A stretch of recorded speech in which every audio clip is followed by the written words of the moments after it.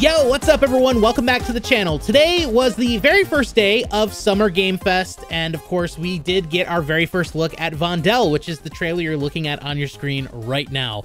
This is going to be dropping at the launch of Season 4 in just a few short days, and you can see, based on the tactical overview, there are going to be quite a few unique locations, including, but not limited to, a zoo, an actual castle, there's a mall, a stadium which has been converted into a paintball arena. Overall, a very bright, colorful, and unique take on what we could possibly see and do in not only Warzone, but also in DMZ. Alongside this trailer, we also received a brand new blog post giving us information about each one of these brand new points of interest. And the cool thing is, not only is the tactical preview bright, colorful, and vibrant, that is how the map actually looks. Like that's how it's going to look in game. And that makes me very, very excited. Now, reminder, there will be fog that occasionally rolls through. And depending on how dense this fog is, you'll notice that you can't really see that far in front of you, but it's it's a dynamic fog, so it will come and go just randomly as you play the map, which I think is really cool. This is a new technological feature that they're adding into the, the Warzone experience that didn't exist previously. Before we talk about these locations, I just want to mention the new crossover event that's going to be happening with The Boys. At the end of this trailer, you can see the logo of The Boys right there on the building. And then The Boys interacted with Call of Duty over on Twitter. And now it makes sense why they would hide the fifth and final operator coming with a bundle in season. His name is Butch. Could this be Butcher?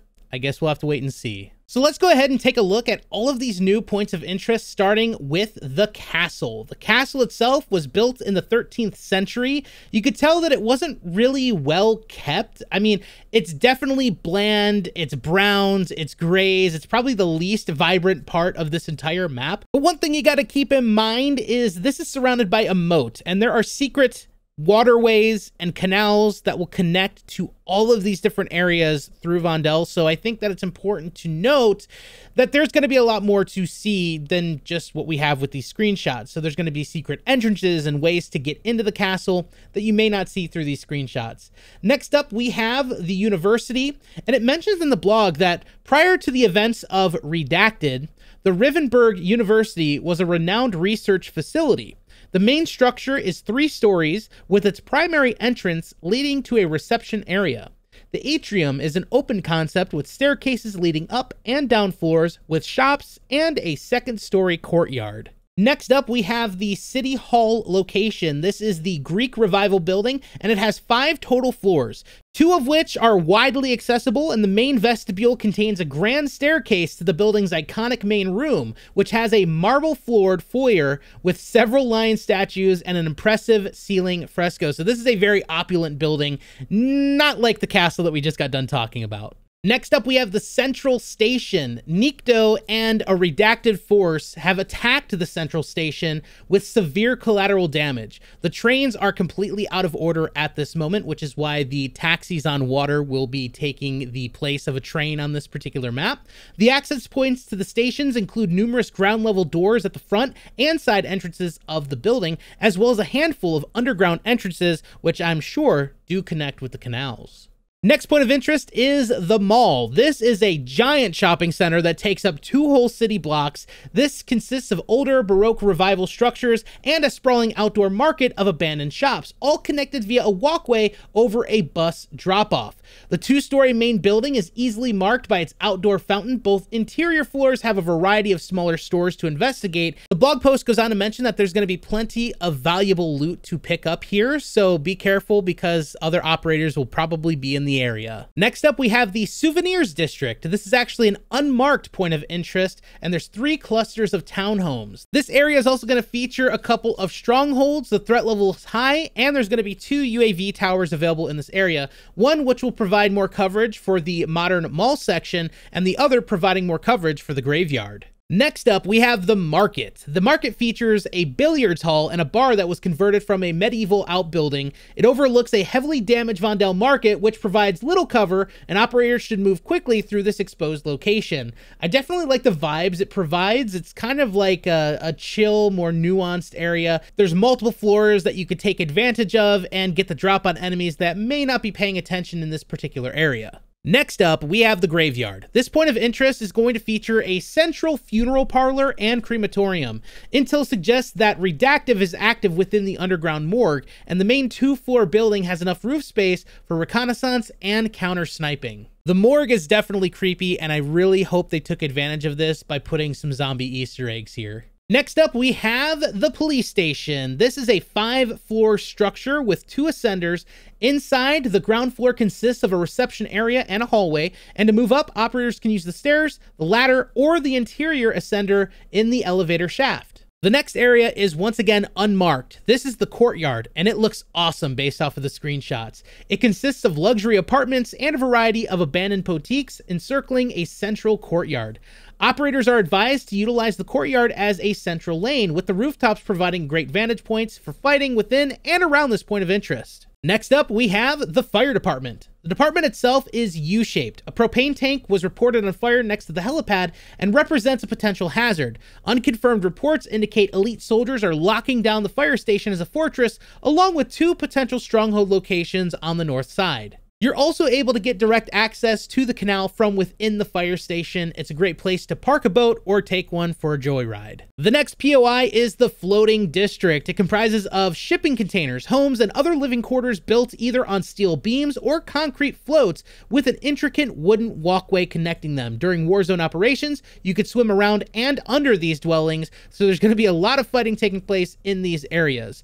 This is a potential hotbed for small squad fights, and operators are encouraged to utilize sidearms and knives for more stealth-based maneuvers, especially if you plan on swimming underneath all of these floating buildings. Once again, said in my previous video, missed opportunity to have primary weapons usable from underwater. I think that would have been crazy awesome firefights, similar to stuff that we saw in Blackout. But hey, maybe I'm wrong in this situation. Let me know your thoughts in the comment section below. Next up, we have the zoo, and it mentions here all of the zoo's exhibits and overall design allow for a variety of engagement opportunities. The central aquarium roof can be considered the main power position, but operators should watch for snipers from the Savannah exhibit or the windmill landmarked by the stadium. And speaking of the stadium, that's our next point of interest. The stadium is currently set up roughly symmetrical right now currently because of the large obstacles used for a recent paintball tournament at the facility to provide unique opportunities for engaging enemy combatants on the field. Of course, as mentioned from the zoo point of interest, you can see that windmill and that is going to allow players to get an overview of the entire paintball course.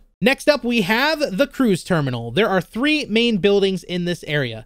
There are two main gates and an extensive two-floor interior featuring seating areas, restaurants, shops, and more. One of those locations being a hotel, and that is composed of a first floor lobby, two adjacent buildings via staircases on the second floor, and the lobby with a billiards table and a wraparound deck on the third floor, routes leading up to the roof helipad, and there's even an elevator shaft with an interior ascender. This building also features an exterior ascender on the building's west face. Next up, we have the museum. This is an ornate, century-old structure featuring two formal gardens, a subterranean reservoir, a bar, a concert stage set in a flooded crypt, and an escape route to the canal on the north side. Look at the flooded crypt. That's actually dope. I love the fact that this is so dark and kind of scary down here. There's lights underneath the water, currently lighting positions up, but this is going to be an excellent place to get some stealth attacks going here. I can't wait to see what else this map has in store with those canals. There are probably plenty of secrets to find. The blog goes on to mention that the museum itself is large enough to accommodate the usage of mid-range weapons indoors. The roof itself is one of the highest points on the map and is ideal for scouting ahead or sniping enemies in the courtyard or surrounding points of interest. Now, last but certainly not least, because there are plenty of other things to discover when we drop into this map on June 14th, but this is a second, more modern museum and it's on the southeastern extremities of the parameter, and it appears to be modeled after an ocean liner. This building houses a collection of modern art, and it also has a main spiral staircase leading up to a sloped roof garden. The roof offers sniper lines to the museum and to parts of the central station. Combat within the various galleries of the exhibit favor close quarters combat, but the exterior has enough open space for the usage of long range rifles. I am really, really excited to jump into this map specifically for DMZ. I want to see everything that there is to offer here. I want to be able to jump in and play and explore those canals and find what's going on in the morgue and jump into these strongholds and activate UAV towers and see what the heck is going on. This is the first time in a long time that I'm actually excited for a DMZ update, not to mention all the other stuff that's going to be going on. So let me know your thoughts in the comments section below. What do you think about the tactical preview of this map? I personally love that it's bright, colorful, vibrant the the colors are saturated. I just i love the fact that there's so many different points of interest. You're not always seeing the same boring thing over and over again. And it's all within a close enough proximity that you're going to be feeling different everywhere you go. There's going to be different engagements depending on where you decide to land. And i think that this is going to be one of the better maps to hit warzone and dmz period. I can't wait to see what people think about that so anyway, let me know your thoughts in the comment section below. If you guys enjoyed the video, drop a like, subscribe for more, and of course, I will see you all on the next one. Peace.